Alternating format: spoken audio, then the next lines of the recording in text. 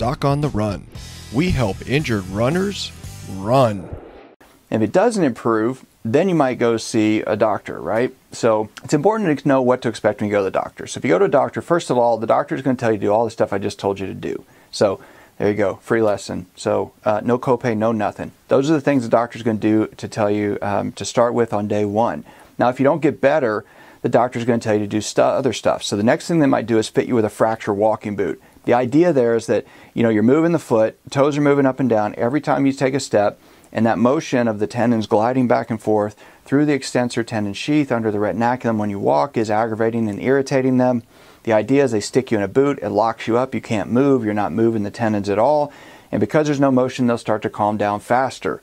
Of course, the doctor can also charge you for a fracture walking boot and probably bill your insurance company hundreds of dollars for that thing, but you don't necessarily need it. So, you know, you could try it and it may help some, but that's not really a great solution for you. I mean, I've talked about this a hundred times. It's like when you use a fracture walking boot, you get weaker, you get stiffer, you lose your neuromuscular connections, and then you're at risk of all kinds of other training injuries later because you are weaker, stiffer, and uncoordinated. So you don't want to spend any more time in the boot than you have to. If you do it for only a couple of days just to treat it aggressively initially, that's okay. But I'm not a fan of putting people in fracture walking boots for several weeks just to see if it'll calm down the extensor tenosynovitis. So be aware of that.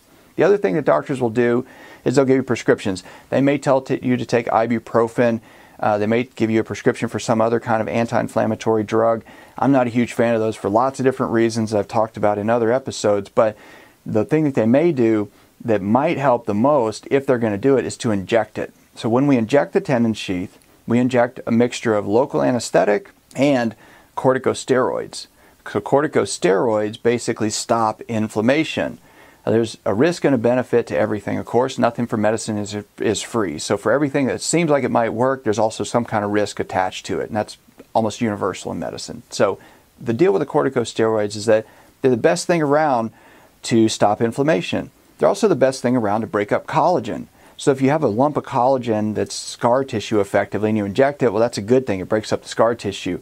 But when you have an, an, tendon issue, the concern is always that if you had a tear or a split in the tendon and we inject steroids into the tendon sheath, it stops the inflammation. It feels better, but it actually starts to weaken the collagen and breaks up the collagen bonds where that split has started to repair itself.